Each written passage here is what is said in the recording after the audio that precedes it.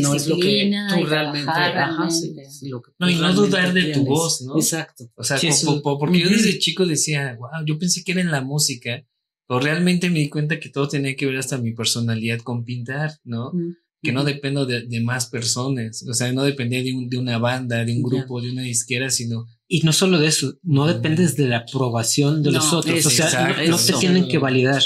Porque finalmente es algo muy personal. Sí. Y aquí vemos en la mesa cuatro artistas, pero somos cuatro artistas muy diferentes. No es que lo que yo digo es verdad, o sí es mi verdad, pero mi verdad no está en contra de la verdad. de Y vos pintas con muchos Eh, colores, yo pinto todo neutro y a mí lo que me pasó fue algo muy raro. Yo en Argentina pintaba con muchos colores, pero así, como vos, igual.